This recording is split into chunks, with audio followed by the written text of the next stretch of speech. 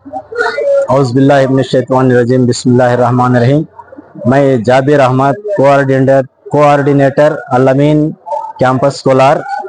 ये हमारे मैनेजमेंट के तरफ़ से जो है, दो दिन का उर्दू डे प्रोग्राम हमारे कैंपस में मनाया जा रहा है।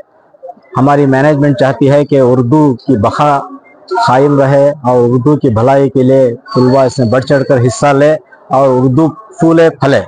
तो इसी मकसद के तहत जो है डिस्ट्रिक्ट लेवल पर यह प्रोग्राम मुनद किया गया है आठ तारीख को और नौ तारीख को।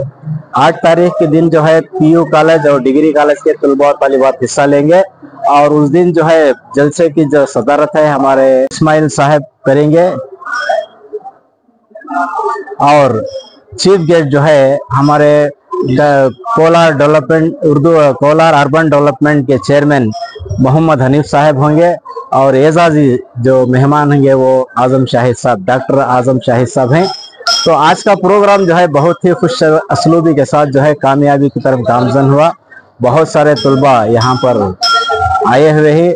तकरीबन 450 तलबा जो है इस प्रोग्राम में हिस्सा ले रहे हैं। बहुत सा सत्तर व पाँच स्कूल जो है इसमें पार्टिसिपेट किए हुए हैं। तलबा का शौक देखने में हमें और भी बहुत खुशी हो रही है कि तलबा जो है बढ़ चढ़कर इसमें हिस्सा ले रहे हैं। नौ तारीख का प्रोग्राम जो है उस दिन उर्दू डे है। इसी मकसद के तहत नौ तारीख को मुनद किया गया है। नौ तारीख के दिन जो है प्रोग्राम सुबह में उर्दू हाई स्कूल इवेंट्स चलेंगे। तो प्रोग्राम, मेन प्रोग्राम जो है तीन बजे से शुरू होगा, जिसमें जो है सदारत हमारे अलमीन एजुकेशनल सोसाइटी के चेयरमैन करेंगे और चीफ गेस्ट जो हैं, हमारे कोलार ज़िले के डिप्टी कमिश्नर इज़्ज़त माब अकरम पाशा साहब होंगे और मेहमान आने खसूस जो है, उर्दू अकाडमी चेयरमैन साहब जलवा अफरोज होंगे।